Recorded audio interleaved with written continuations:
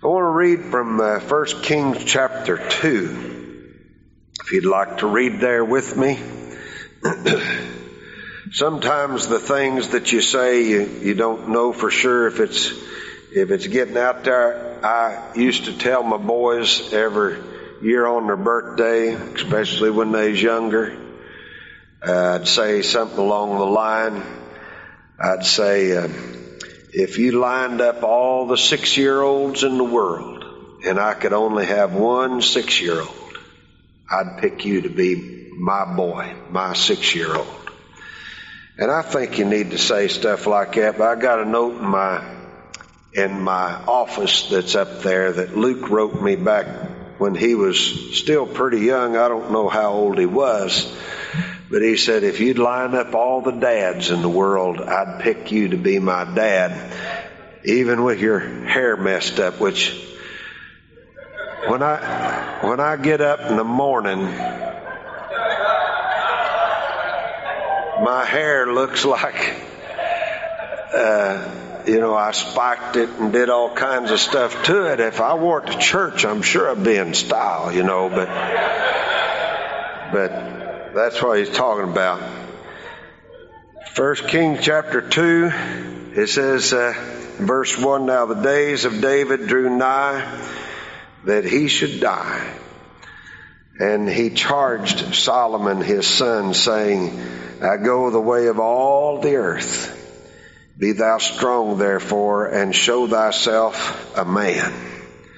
And keep the charge of the Lord thy God to walk in his ways, and keep his statutes, and his commandments, and his judgments, and his testimonies, as it is written in the law of Moses, that thou mayest prosper in all that thou doest, and whithersoever thou turnest thyself that the Lord may continue his word which he spake concerning me, saying, If thy children take heed to their way to walk before me in truth with all their heart and with all their soul, there shall not fail thee, said he, a man on the throne of Israel. I want to preach on a father's final word. I know it's Father's Day, and we wished you a happy Father's Day, all of you fathers.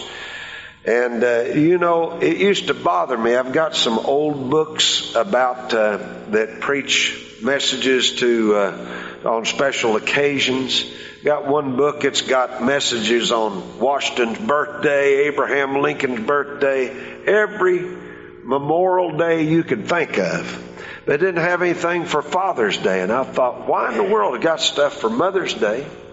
I found out that Father's Day was not a holiday or a special day until later on. I'm not sure about the particular time when it became uh, a day, but uh, the truth is it may have came late, but it's a needed day. Especially in our time, because that it seems like manhood and masculinity is under attack nowadays. I understand there's unworthy dads. There really is. There's deadbeat dads and fellows that's uh, left their families and, and different ones that are unworthy. I mean, they may have biologically been able to be a father, but they've never really been a dad whatsoever. I understand that. But there are many good examples, and you're looking at some of them right around you here today. And then there's some that realize that they've had some flaws, but they most definitely are doing better and trying to do better. And their goal is to be the father that God wants them to be. Now, David here gave his final words to Solomon. And uh, I was, I, I realized this story doesn't really have anything to do with a father speaking to a son. I'm fixing to tell you. I called up Randy Webb, and we was just talking about what we was going to preach on Father's Day. I told him that I was going to preach on this scripture. And if you know Randy Webb, you realize that his sister Marilyn was a great part of strength in his life while she lived. She died of cancer a few years ago. And he said, You know, it's funny that you'd bring that up to me, those words right there. He said, My sister called me the morning before she died. And she read this chat, read, read these verses that you just talked about to me. And I go the way of all the earth. Be thou strong therefore and show thyself a man. And she said, Randy, you're a strong man. She said, you keep on obeying God and I know the devil attacks you, but you are a strong man. You know, I believe he needed that, but I believe Solomon needed that as well. The strength of his father's words in this manner. And I also want to tell you that all fathers and men may uh, also gather strength from the words of David as he speaks these final words to his son. He knew he was a dying. He faced it with courage. He understood, and you can face death with courage when you know where you're going. He also had a desire to be useful in his final moments of life. That was something about David. He was always finding something to do for the Lord. And here he couldn't find anything better but to encourage his son in the ways of God. He had a good outlook on life. I realize he had some personal failures. I also understand that there were some things in his life that was incomplete, that he still did not have finished. But he still had a good outlook on life and even a vision for the future. He had lived for something bigger than himself. And all men need a mission in life. There needs to be something that they take as a task or a calling but it needs to be so bigger, so big that it goes beyond their short span of years. David had a calling and a mission that was bigger than he could get done in a lifetime. And so he passed on some things to the next generation. I want you to understand that when you become a Christian, you're living for a mission that's much bigger than you can ever get done in your lifetime. Paul didn't complete it, Peter didn't complete it, and neither did the generation before us, and neither shall we unless Jesus comes and blows and the trumpet is blown and we're taken out of this world and he said it is finished. And the truth is the work that the Christian man has will never be accomplished. So we need to make sure we pass it on to the next generation. Amen. First Chronicles in uh, 28 or 29, I think it's 28, where that David gives this same type of speech unto uh, his son. He also tells him to be strong and build the temple. You remember that was one thing David wanted to get done. He wanted to have a building that was magnificent a beautiful temple. In fact, if you read it just right, you realize that God gave him the plans for the temple, just like God gave Moses the instructions of how to uh, build the tabernacle. And God gave David instructions on how to set up the priests and their courses and so on. Uh, during the days of Moses, the, the tribe of Levi and the priestly tribe were not as big as during the day of David. And so God set it up where the priest served in courses of 24 with the high priest being 25 and they came before the Lord and so on. That was, that was a part of David's plan. You read in First Chronicles, he gives his son Solomon charge to, charge to implement this, how to build the temple. And it was, it was too big for him. He couldn't get it done. He was not the man for the job. But you know what he did? Even though he could not build the temple and implement the things that he felt on his heart. He could amass the gold and the silver and the jewels and the materials that was needed for Solomon to be able to build the temple to where he would not have to do so much and gather so much and take so many offerings. I want you to understand, we may not get it all done, but we need to amass a spiritual stockpile of wealth so the next generation can continue on in a spirit of revival. Where the that this church will continue to be a place where the glory of God is manifested and people are saved and delivered from sin. Folks are healed of their sicknesses, that people are baptized in the Holy Ghost and holiness and sanctification is still preached and lived. And if this generation takes that seriously, we can most definitely pass it on to the next generation. We need to have a vision just like this dad did. A vision that's bigger and greater and, uh, and, and outlives us. Hallelujah. It wouldn't it be just a shame to live for something that's going to die when you die? Amen. I mean, just uh, whatever it is. It, you, you, you work at your job and, that, and listen, that's a necessary thing and you do it for the Lord. And I'll tell you what, there, there needs to be a mission that's just higher than punching a time clock and getting that work done. You, you gotta have a mission for the Lord as well. And that is a bigger vision. Well, I also am going to tell you his words reflected his life. He was a man of vision and he was able to cast this vision to his son because he had lived as a man of vision. He, he was a man. Glory to God. He was a man. And he, he as a man could say, son, I want you to be strong and I want you to be a man. and you know, that makes a big difference right there. Amen. David was not a sissy saying, come on, be a man, you know. He said it, and he may have been feeble in body, but it was a powerful statement when he said it to his son. And so his son got the picture of being a man. He was a man of character. And he was able to emphasize, son, I want you to follow the ways of God as well. And he was a man that failed. But he was a man that repented and went on and was an example after his failure. And friend, because he went on, he was still able to promote a life of godliness to his son and speak to him about living for the Lord. And we are all giving our final words as men to our next generation, whether you are a father or not. You are giving your final words. You're preaching your funeral.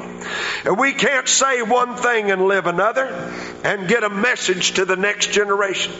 We can't be all upset about the values of America falling apart when we don't have any values ourselves. In order to have a faith that you can pass on, you gotta have a genuine faith. In order to have convictions to pass on, you're gonna have to have some convictions that you would live and die for yourself. And when the, there arises a group of people that says one thing and does another by your own life, my friend, friend, you are, are passing down something to the next generation. Because I'm going to tell you, it's easier to pass down bad character than good character. Because all children have a natural propensity for evil and not good. And if we have a certain insincerity in our own lives, they'll catch that real quick. If we have a certain hypocrisy in our own lives, they'll catch that real quick. Now again, there's people as straight and, and as sincere as Samuel was that still had bad children. Everybody's going to make a decision. And listen, let's don't let them point to our lives and say, I'll tell you, they was one thing at church and they was another thing at home. They'd back the preacher on when he preached against movies, but he'd go and get stuff and bring it into the home. Amen. That's, that's a completely different type of person right there. Amen. The force of our words is our life.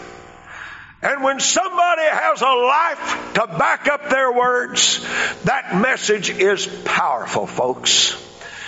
I was, I was at a youth rally and they called on George Davis. Y'all remember Brother George Davis? Boy, I tell you, sometimes I still miss him. He's been dead for I don't know how long. But uh, he'd show up at camp meetings and sing those songs. And uh, oh, I'll tell you, he was he was quite a shouter. And I appreciated Brother George Davis. But I remember he was a little feeble. They called on him on this youth rally. And Bill Parks and I was sitting on the front pew next to each other. I was supposed to preach that night. Brother Davis got up and staggered around. He'd been sick and was so weak that night. And uh, he said, I have been young and I am old. And I've never seen the righteous forsaken. And you know, every person in that building stood to their feet. There was some force to those words. And when he got to singing, though he was weak, there was worship because there was a life behind those words.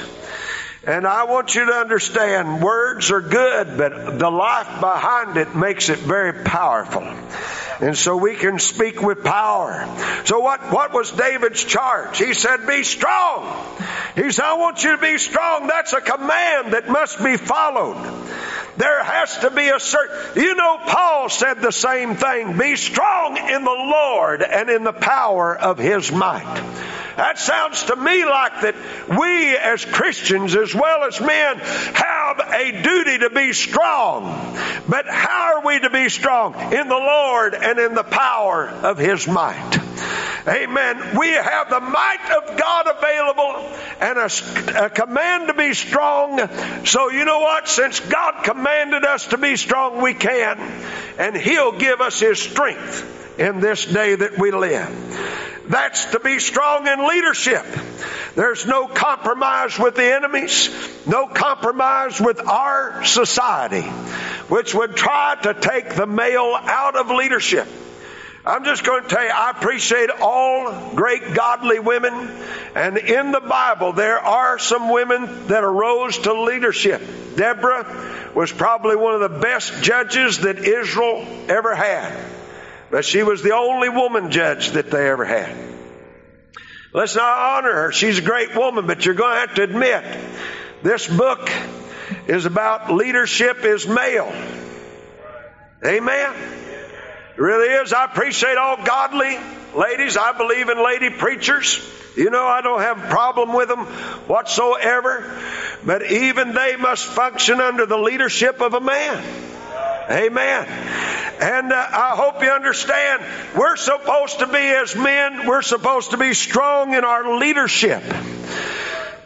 Sometimes I believe that there are ladies that are just begging God, Lord, would you make my husband into the leader of the home?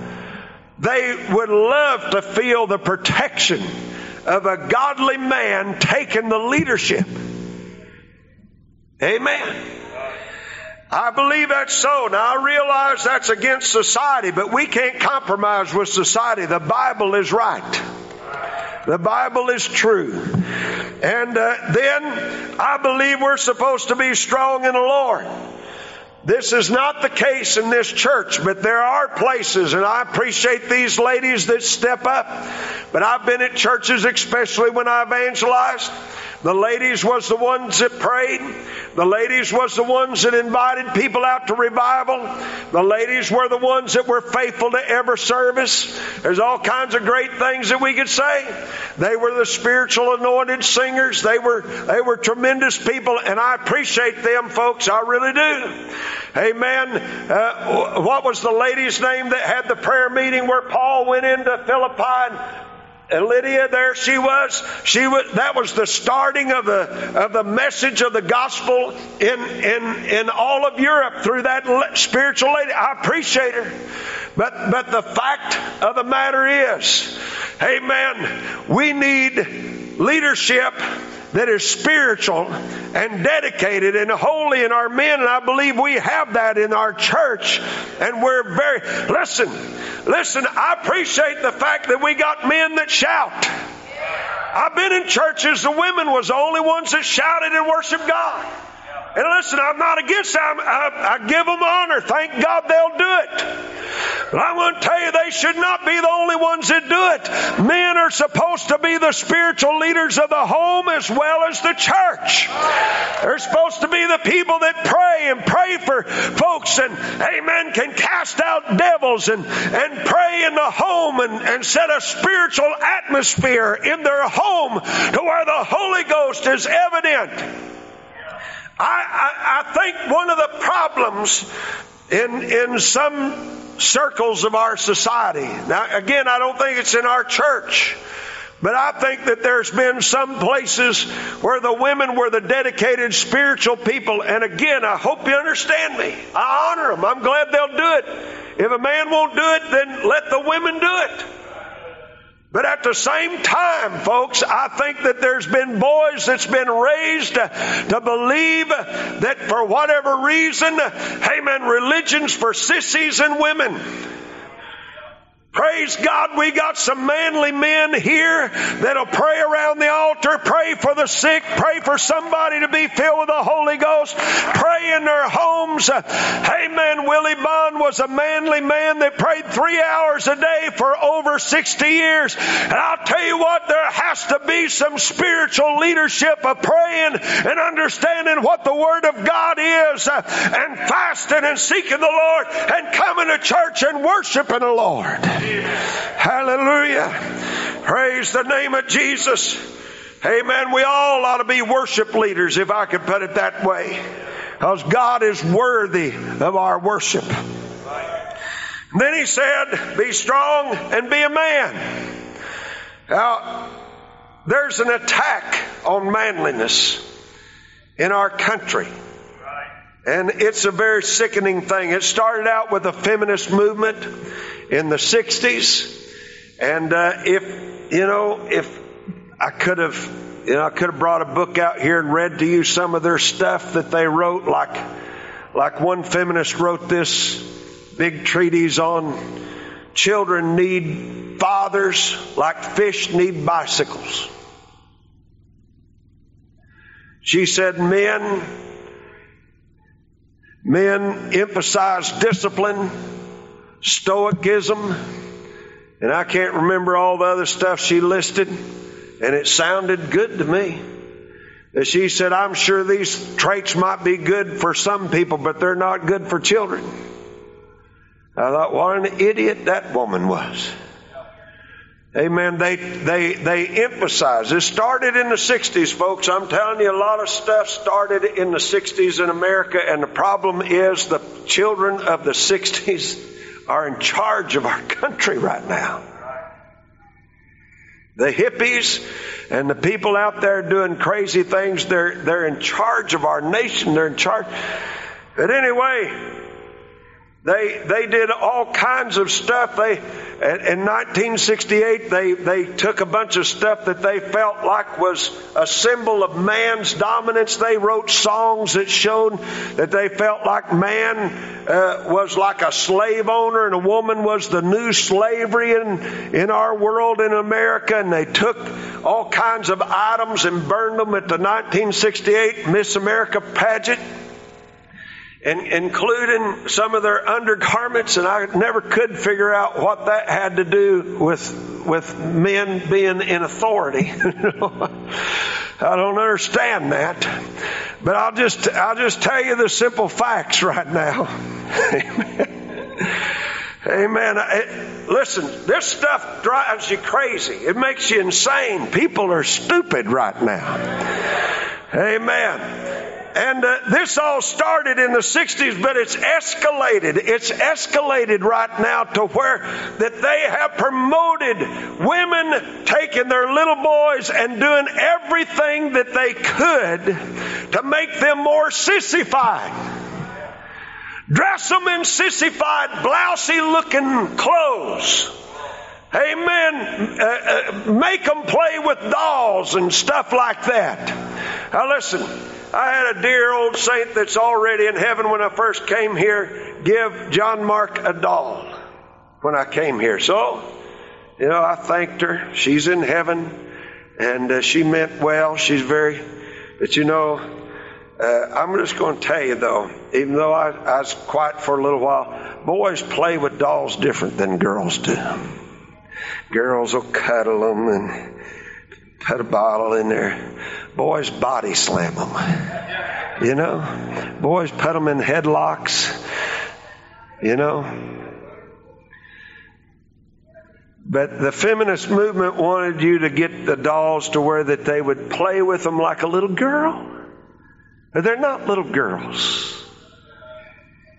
And I, I want to just, you know, I think that there is something in a man that's supposed to be dangerous. They're supposed to protect. They're supposed to have something about them that has a warrior spirit. It really is. And, and the feminist movement has tried to get men to where that they don't talk like men, walk like men, dress like men, and now we've got, we got homosexuals. We got now transsexual.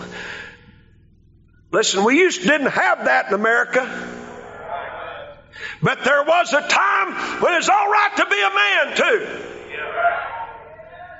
And I think that we're going to have to come back to the Bible. Listen, the Bible does not put down men. It condemns sin where there is sin. If a man is an adulterer, or violent, or murderous, or bully, or whatever, it condemns that. But I'm just going to tell you this book right here lifts up manhood. Right. Amen. All the, most of the heroes of the Bible are men's men. I mean, look at Abraham and Moses and Joshua and, and, and, what about, what about David himself and his mighty men? And, and what about the bravery we see in Elijah on Mount Carmel calling fire down from heaven? Amen. What about John the Baptist? What about Paul the apostle, the adventurer? And what about Jesus Christ himself that could drive out? Amen. Uh, uh, uh, I think, I think that place that he drove out of the temple was like three football fields uh, of people. Do you think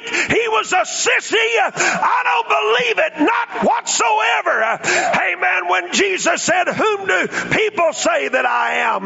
They said, Well, some say you're John the Baptist, others say you're Elijah. Amen. You know why they said that? Because Jesus was not a sissy.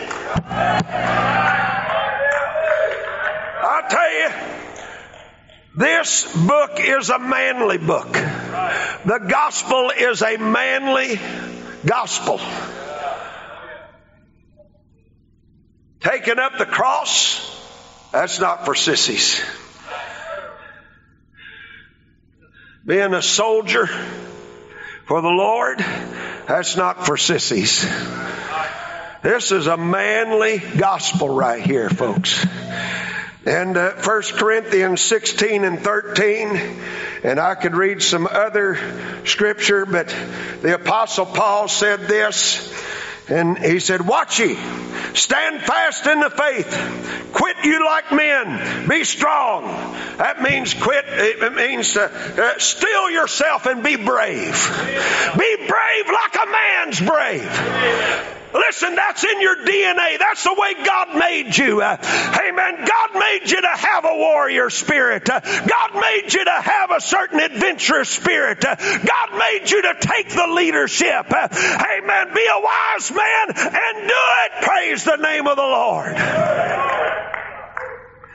Hollywood attacks this nature of man. It either makes man look like a bumbling fool that women always have to fix it. Now listen, I don't have a TV. I don't watch movies. I do not do that, period.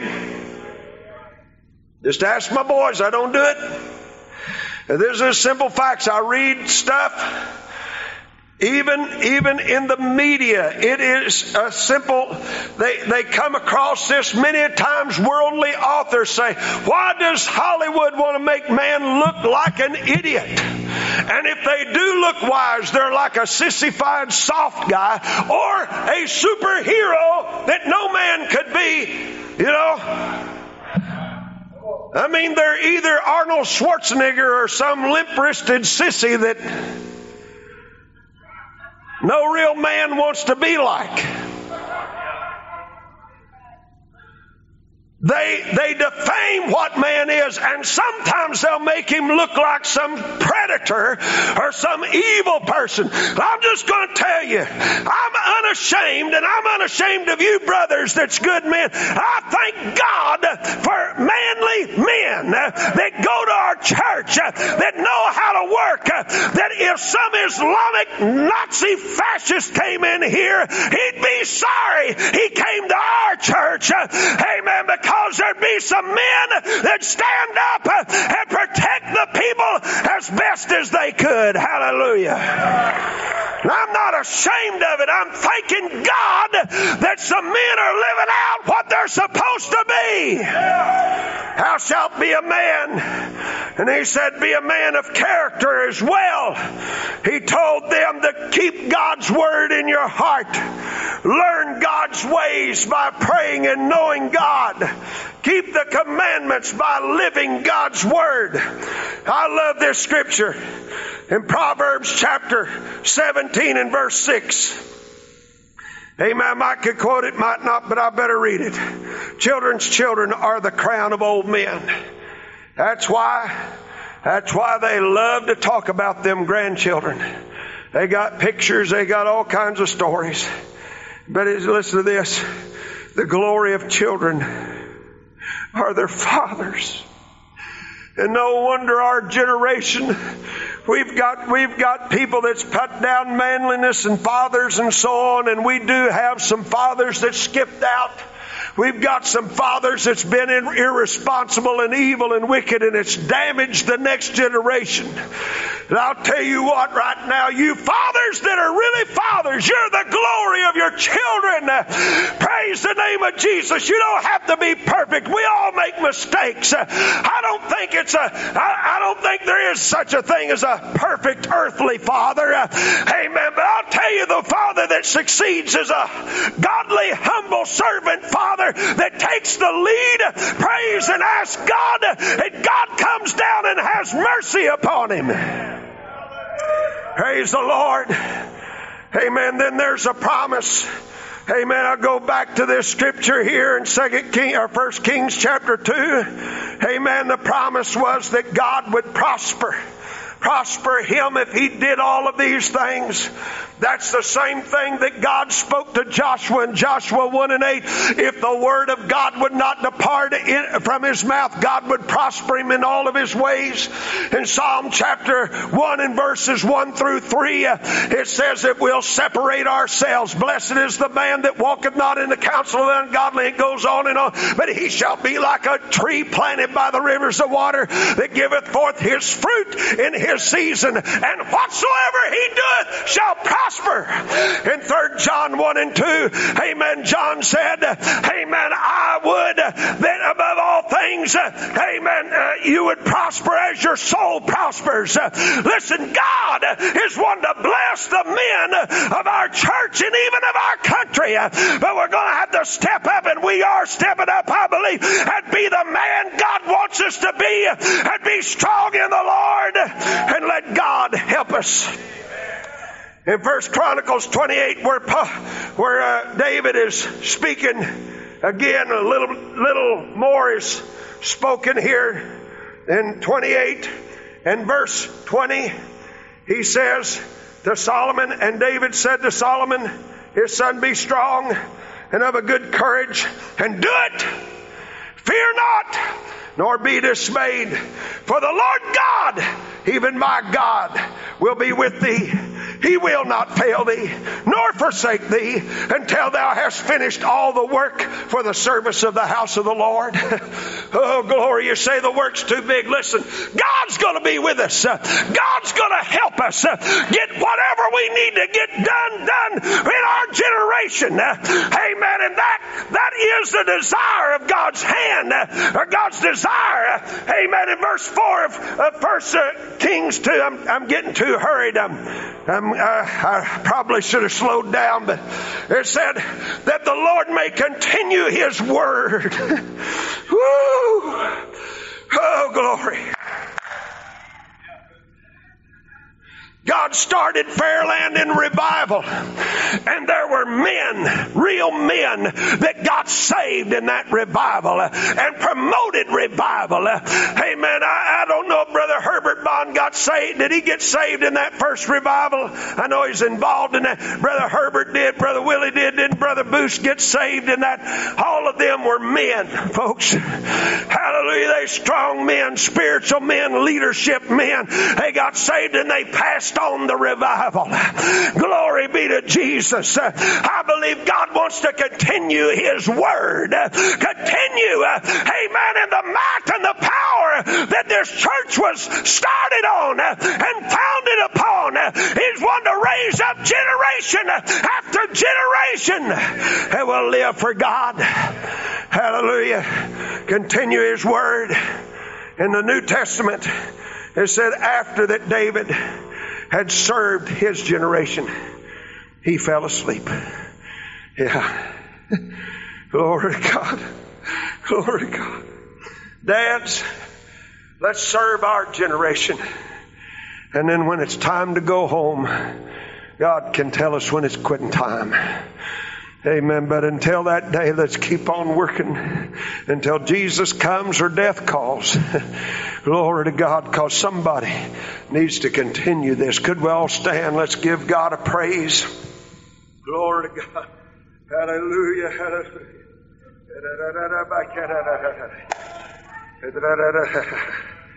Oh God, oh God, I love you, Lord. Oh God, I thank you, Lord. I praise you, Lord. I worship you, Lord Jesus. I worship you. I thank you, Jesus. I magnify you and glorify you. Hallelujah, hallelujah. Oh, glory. You know, I feel the Spirit of God here. I'm just going, I'm just going to tell you, God is a Father like no other Father. He loves us. He cares for us. He'll protect us, defend us, provide for us. I'm also going to make it plain. He'll forgive us.